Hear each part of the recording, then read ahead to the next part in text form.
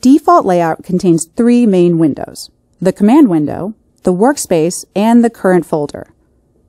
In the command window, you can enter MATLAB commands and they're executed as soon as you hit enter. The interactions you've completed so far have worked this way. Some commands create new MATLAB variables, and these variables are displayed in the workspace. Entering commands one by one in the command window is a quick way to try something out and see the result. However, solving problems often requires a sequence of commands. You can organize all your commands and their output together by creating a live script in the MATLAB editor. To create a live script, click New Live Script in the tool strip. You can now enter your commands in the gray code box. Switch to text mode to add some description. You can now run multiple commands at once by clicking the Run button. This evaluates all the commands in order.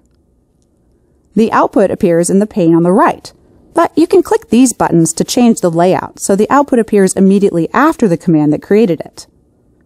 Either way, you can see how the code relates to the output. And if you click on a result in the output pane, the command that created it is shown in the editing pane, and vice versa.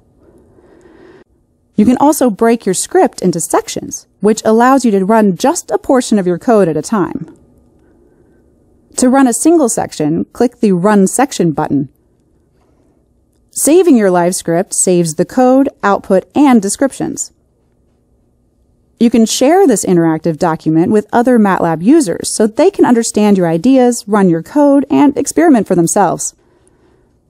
Or to share your results with anyone regardless of whether they have MATLAB, you can save your script as a static PDF or HTML document. Different people have different working styles, so you can customize the desktop as you see fit. Maximize the MATLAB editor or select one of the layouts to use live scripts and the command window together. In this course, you'll use the live editor to complete series of tasks. The command window and workspace will be minimized, but you can open them anytime to try out commands or view your variables.